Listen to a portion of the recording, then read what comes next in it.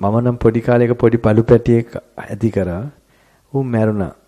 මමත් ලොකු දුකක් වින්ද. යාට මන් දන්නේ සේලයින් නෙමෙයි දුන්නේ මම මොනවද? මොනවද මම රෑ වෙනකල් මොනවද මම පොඩි කාලේ මොනවද ඒකට කියන්නේ ඉලෙක්ට්‍රෝලයිට් ද කොයිද ගෙදර තියලා මම ඒවා දෙනවා අරෝමයා දෙනවා ඌ ඊට පස්සේ ඌ මැන්නා. හැබැයි එදා නම් මම අදිෂ්ඨාන කරා පොඩි කාලේ හැබැයි ආයිනම් මේ බල්ලෝ ගන්න නැහැ. මොකද මෙයා මේ වගේ දුක් ඇති කරනවනේ. මේ බැඳීමක් නන්නේ ඉස්සර. ඊට පස්සේ මම කවදාවත් බල්ලෙක් මේ එහෙම මේ අතිදඩි කරේ නැහැ. හැබැයි ඒක තව බල්ලෙක් ඉන්නවද? දැන් නෑනේ ආයිනම් පලාතේවත් බල්ලෝ දිහා බලන්නවත් එපා. දැන් නම් ආයිනම් එපා. අනිවාර්යෙන් මෑනියෝ මං එහෙනම් තව එකක් කියන්නම් ඕකට. දැන් ඔය හිත හැදෙන්න ඔය ටික කිව්වේ ඔක ඇත්ත කරුණකුත් එක්ක. ඔය නිකන් එකක් නෙමෙයි කිව්වේ. ඒක අයින් කරන්න හැටි යට උදව් වෙන හැටිත් කිව්වා. තව අනිත් එක තමයි ගුරුදේවයන් වහන්සේ මට කියපු තමයි කාලේ පහළ සත්‍යොත් එක්ක ආශ්‍රය කරන්න එපා කියලා. පහළ බීන්ස්ලත් එක්ක.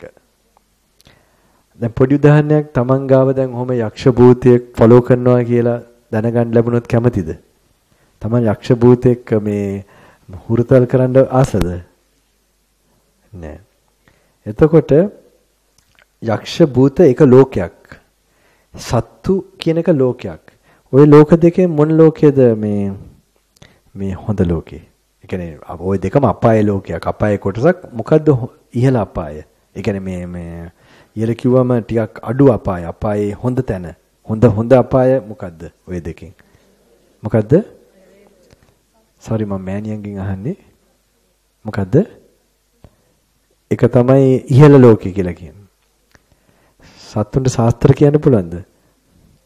බෑ ශාස්ත්‍ර කියන්න වගේ හැකියාවල් තියෙන්නේ භූත යක්ෂන්ට. ඒ කියන්නේ එහෙම කීතලා ආරවාමයේ දිවසක් වගේත් ඒවත් තියෙනවනේ. ඒකට ඒගොල්ලන් ටිකක් ඉහළද නැද්ද? ඉහළයි. ඒගොල්ලන් සමහරට අග්ගල මනුෂ්‍යාත්මත් එන්න පුළුවන් මම කුසෙම. ඒකට ඒක ඉහළ මේ අපායේ කොටසක්. එතකොට අර ඊට වඩා ඊටත් වඩා ගොරෝසුයි තමයි සත්ව ලෝකේ. හැබැයි ওই සත්ව ලෝකෙත් ඒගොල්ලන්ට අපි ඥාති වෙන්නත් පුළුවන් අපිට ළඟට හම්බෙට ටක් ගාලා ඉපදෙන්න පුළුවන් එහෙම. ඒ ඔක්කොටම උදව් වෙනවා ඩිටැච් වෙන එක. ඒගොල්ලන්ට උදව් වෙන්න ඕනේ. දැන් මට ඉන්නවා සමා කෙනවා කට්ටිය බල්ලෝ 20ක් ඒගොල්ලන්ට බල්ලෝ දකින්න බෑ ඒගොල්ලන්ව උස්සන් එන්න හිතනවා. හරි ඇත්තට කරුණාව තියෙනවා හැබැයි බැඳෙන්නේ නැති කරුණාව. මොකද කරුණාව හොඳයි බැඳීම හානියක්. හානියක් වෙන කරුණාව ඔක්කොම ප්‍රශ්න. ඒ කියන්නේ ඒක භයානකයි.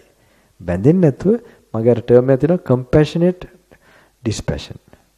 sorry dispassionate compassion. තමන්ගේ කරුණාව තියෙනනේ ඩිටැච්මන්ට් එකත් එක්ක.